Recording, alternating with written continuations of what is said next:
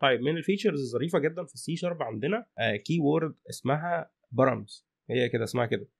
صار parameters يعني. بتستخدم في سياق powerful جدا الحقيقة يعني. بيقول لك إن ال params keyword في ال C Sharp بت allow ال method to accept بيخلي ال method اللي عندك إنها تتقبل a variable number of arguments. مش إحنا عارفين ال arguments اللي إحنا بنبعتها بين الأقواس نقول له مثلا عندك ثلاثة انت هيتبعتوا X Y Z أو النيم والايدج الفيرست نيم واللاست نيم بنبقى محددينهم already من قبل كده صح؟ لا قال لك ال params دي بقى بتخليك إن أنت تبعت براحتك. عايز تبعت 3 2 5 10 50 براحتك. تخيل كده؟ يقول لك بقى إن هي بتكون مفيدة جدا لما أنت ما تكونش عارف ال number of arguments أنت مش عارف هتبعت arguments قد إيه. هنشوف مثال دلوقتي. لو بتفكر إيه ال case اللي ممكن تبقى كده هنشوف. فبيقول لك ال feature دي بتخليك تبعت comma separated تعمل كوما وفاريبل كوما وفاريبل والميثود تاكسبتها وتشتغل عليها عادي خالص بدون ما تحدد عددهم قد إيه.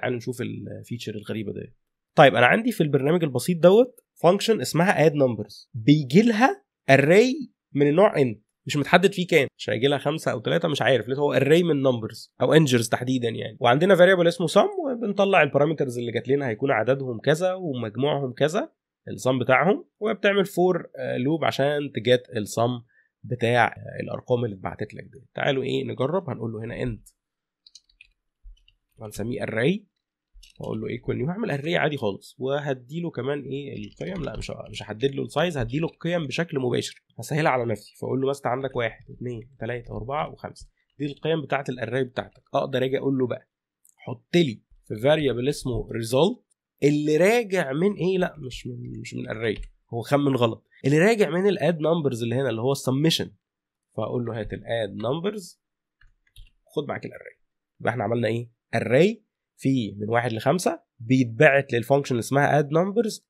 هيبتدي يجيب لي ال total بتاعهم كام ويرجع لي إيه السمشن بتاعي. لو أنا جيت أعمل run دلوقتي هيجيب لي إيه بقى؟ جاب لي إن أنا عندي إيه؟ خمس أرقام اللي هم من واحد لحد خمسة واحد اتنين تلاتة أربعة خمسة. تمام؟ وال sum طالع فاضي ليه بقى؟ ال sum طالع فاضي لأن أنا هنا مش بجمع له ال sum أنا ال sum هطلعها هعمل لها concatenation مع ال return اللي راجع من ال sum يعني هاجي أقول له هنا كده Console WriteLine ويطلع لي حضرتك إيه؟ ال result اللي هي رجعت عندنا اللي هي القيمة اللي بقت هنا. فهيطلع لي إيه؟ ال sum هنكمل بقى اللي هنا عشان تفهم هو إيه اللي حصل هنا في كلمة sum ديت. هو هيكمل على اللي هنا. يعني أنا لو حطيت له هنا قوس هتلاقي القوس لسه ما اتقفلش. يعني جينا ن run كده هو هيطلع لي 15 أهو القوس لسه ما اتقفلش. ده القوس اللي في ال method اللي هنا. لو أنا عايز أقفله بقى زود بقى مثلا هنا أعمل concatenation وأقفله كده. فاهمين يا بس جاية إزاي؟ كده أهو. فاهمين؟ جزء من هنا وجزء من هنا. المهم إن هو إيه دي مش قصتنا يعني. هو طلع 15 مظبوط. طب أنا لو خليتهم أربعة بس يبقى عندي فعلا 10 اللي إحنا شلنا منهم خمسة هم أربع أرقام. حلو كده؟ طيب برامز بقى بتقول لك أنا هوفر عليك كل القصة ديت وبدل ما أنت تقعد تكتب الكلام ده وتديله في الريز وتكتب كل التفاصيل لا أنت مش محتاج تعمل حاجة خالص. أنت محتاج تيجي فقط تقول له كده params. لا مفيش object بقى ولا args ولا كل الكلام ده. مش عارف هو كتب كده ليه. بس لل int array اللي عندنا اللي اسمه إيه؟ numbers بس وابتدي يتعامل بقى. فأنا ه comment كل الكلام ده كده أنا خلاص مش عايز ده وهاجي ابتدي بقى كأني أنا ما عنديش ال arrays والكلام دوت. هاجي أقول له مثلا إيه؟ int result ممكن ناخد السطر ده كده زي ما هو. تمام؟ وبدل ال array بقى اللي عندي لا أنا هقول له واحد واثنين وثلاثه وأربعة. حلو كده؟ تيجي ال run هيطلع لنا كام؟ إحنا خلاص عرفنا بقى. مش هيطلع حاجة. لأن إحنا ما عندناش السطر التاني دوت. اللي هو بتاع ال Console WriteLine اللي بيكمل ويكتب لي ال summation وال result والحاجات دي أهو. نفس. نفس الموضوع بالظبط. بس أنا استبدلت إن أنا يبقى عندي array وال syntax المعقد بتاع ال array بإن أنا أكتب direct يعني أنا كتبت هنا الخمسة. بص اللي هيحصل آه تشتغل عادي. شايفين؟ طب أنا لو كتبت كمان ستة وسبعة وثمانية وتسعة وعشرة.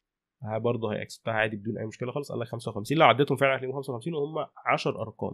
طب أنا لو شلت ال params keyword لا ما مش هيفهم بقى ده إيه. ده بالنسبة له كده أرقام وما فين الكلام. رجع على قديم وبقى قال لك no overload for the method ما فيش overloaded method عندي اسمها add numbers بتاخد 10 arguments قال لك فين ال method اللي بتاخد 10 arguments دي يا عم؟ مش موجودة. إحنا عشان نعمل method تعمل كده. لكن params وفرت عليك الكلام ده. قالت لك لا خلاص أنا هديك dynamic أو variable parameters number فأنت اكتب زي ما أنت عايز. ممكن تحط كمان إيه؟